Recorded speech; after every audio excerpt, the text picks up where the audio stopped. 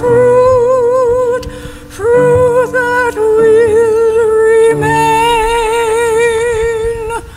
Alleluia, Alleluia, Alleluia. The Lord be with you. A reading from the Holy Gospel according to Matthew. Glory to you, O Lord. Jesus said to the chief priests and the elders of the people, Hear another parable. There was a landowner who planted a vineyard, put a hedge around it, dug a wine press in it, and built a tower. Then he leased it to tenants and went on a journey. When vintage time drew near, he sent his servants to the tenants to obtain his produce. But the tenants seized the servants, and one they beat, another they killed, and a third they stoned. Again, he sent other servants, more numerous than the first ones, but they treated them in the same way. Finally, he sent his son to them, thinking, They will respect my son. But when the tenants saw the son, they said to one another, This is the heir. Come, let us kill him and acquire his inheritance. They seized him, threw him out of the vineyard, and killed him. What will the owner of the vineyard do to those tenants when he comes? They answered him, He will put those wretched men to a wretched death and lease his vineyard to other tenants who will give him the produce at the proper times. Jesus said to them, Did you never read in the scriptures, the stone that the builders rejected has become the cornerstone? By the Lord has this been done, and it is wonderful in our eyes. Therefore, I say to you, the kingdom of God will be taken away from you and given to a people that will produce its fruit. The Gospel of the Lord.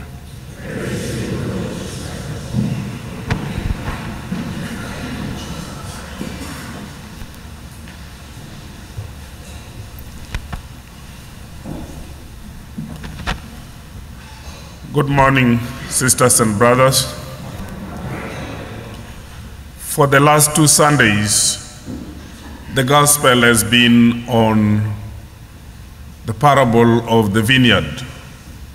And today, again, on this 27th Sunday of the church calendar, is about the vineyard of the Lord.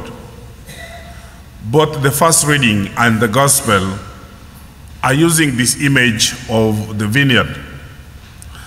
In the first reading, as you heard, Isaiah says that Israel, that the vineyard, the vineyard that the Lord loved so much, but it yielded only sour grapes.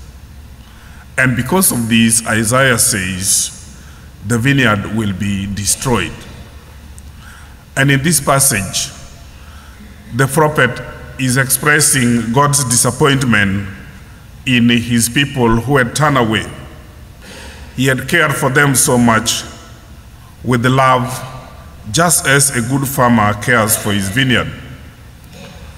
He had hoped Israel would respond favorably to him and also listen to his voice, but then they did not. Instead of bearing good fruits, the vineyard has produced wild and sour grapes. And because of this, God is pointing to the fact that Israel shall be invaded and humbled by his enemies. And he promised to render that vineyard kind of useless. And God says, I will take the hedge and give it to grazing. Yes, I will make it a ruin. It will overgrow with thorns. I will command the clouds not to send rain upon it. Then in the gospel, in the parable, Jesus takes up the same image, though with the difference as we heard. He states that the tenants will be replaced and the vineyard instead will be kept. The parable story here is describing the tenants who are abusing the servants of the owner of the vineyard. As we heard, seizing the servants, beating them, and killing them as well. And eventually kill his only son that is sent to them to ask for this accountability. They had wanted to take over the vineyard, but instead, despite killing the servants and killing the Son of Man, they still lost it. The tenants failed to show respect to the owner and had hope, and they thought that by eliminating these master servants and then his son, they would take possession of this vineyard. But again, all in vain. At the end of it all, the master assures them of condemnation and concludes by saying, The kingdom of God will be taken away from them and given to the people that will produce its fruits. So, the readings today, the first and the gospel especially, point to these four facts namely, we are not the owners of the kingdom of heaven. We are only its stewards who have to give account to the real owner, and we are accountable to what has been entrusted to us. And secondly, that we must be productive with what and all that God has given us.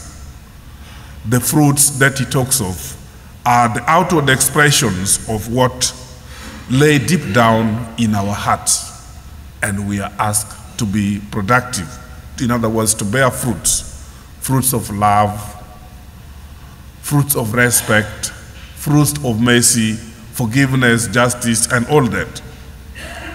And thirdly, that God has given each one of us personal gifts and graces that He wants us to use to make discipleship as the 13th apostle that we prefer to name it in this uh, holy family. So, and fourthly, this very word of God that we hear in the first reading and the gospel is continuing to challenge us that we have to abandon our ways of living that do not respect human life and dignity. And adhere to the voice of God, to listen to His voice, and to be productive with what He has given us, be it in the family, at our workplace, in the community, or whatever environment we find ourselves in. And that is what stewardship is all about. And that is what we are called to, to make disciples of others by being fruitful with this call that God has given us. God has played this part by showing us this love. And He wants us to be productive in this vineyard. May we therefore become aware and pray for the blessings and the gifts and the graces of God that is in us, and always continue to pray and to respond to His everlasting love for our God and for our own neighbor. And we ask all this in the name of the Father, the Son, and the Holy Spirit.